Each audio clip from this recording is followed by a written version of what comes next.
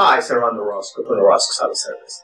If you have doubts about someone else's diagnostics on your car, bring it to us at the Orozco Auto Service for a second opinion and not cost to you. For more information, go to orozcosautoservice.com. Thank you. Have an amazing day.